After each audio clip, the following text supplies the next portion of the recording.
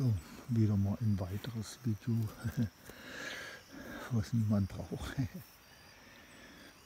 Ich habe hier mal den Kontiki abgelöscht mit Sägespäne. Beziehungsweise waren es, hatte ich jetzt keine Sägespäne, sondern nur Hobelspäne.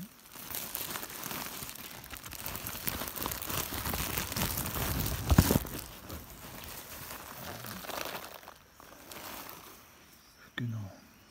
Habe ich da einfach mal drauf gemacht. Und wollte dadurch einfach, man hat ja so eine kinetische, oder kinetische, man hat halt diese Wärmeenergie. Und gerade wenn man jetzt verkohlt, dann muss man ja immer teilweise etwas dazu bringen, damit das praktisch an,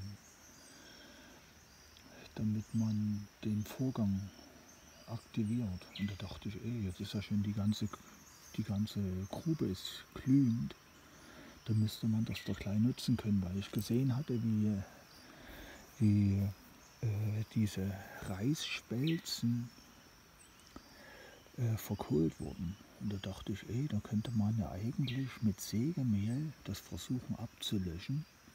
Genau, und hier seht ihr. Und dort qualmt das jetzt noch minimal.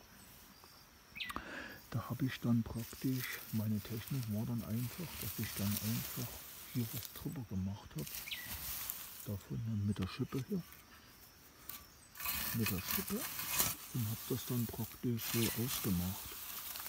Auf jeden Fall am Anfang hatte ich das Sägemehl ziemlich grob drauf, äh, ziemlich stark drauf gemacht.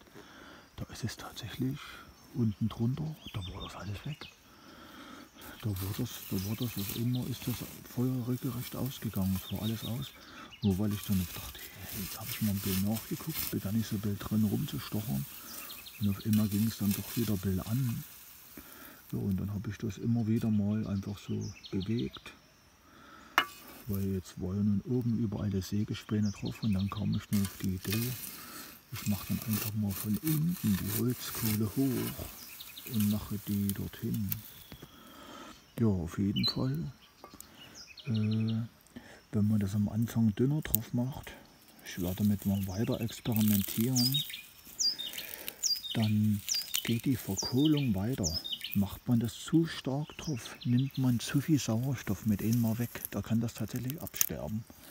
Auf jeden Fall gerade bei den fetteren Kundigis, bei den riesigen, mit dem Ablöschen mit dem Wasser, das werde ich so in der Art nicht mehr machen. Das ist mir einfach viel zu aufwendig und man hat dann auch viel, äh, man verliert dann manchmal dann, wartet man dann länger, bis ein paar Holzstücke sind die noch durch. Aber so, wenn man das drauf wirft, da geht ja die Verkohlung weiter. Und da werfe ich da lieber ganz elegant Sägespäne drauf, relativ dünn. Und sobald ich merke, ah, das jetzt beginnt das dort zu stark äh, zu qualmen, dann werfe ich einfach wieder neue drauf, dass es weniger qualmt.